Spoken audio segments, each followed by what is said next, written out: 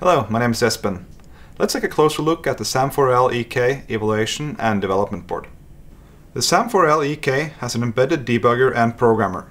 No external tools are needed for development. Just plug in the board to your computer, start Atmel Studio, and you're ready to go. The power consumption is continuously monitored and displayed on the screen in real time. This allows you to optimize your application for low power consumption.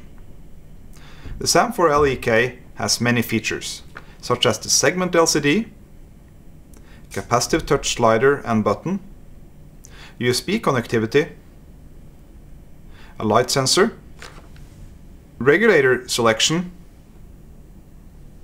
and an audio jack. In addition, there are many expansion possibilities.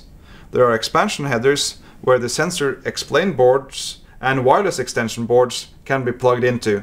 You could easily add MEMS sensors or one of the many wireless add-on boards offered by Atmel. For more information, take a look at atmel.com slash sam4l.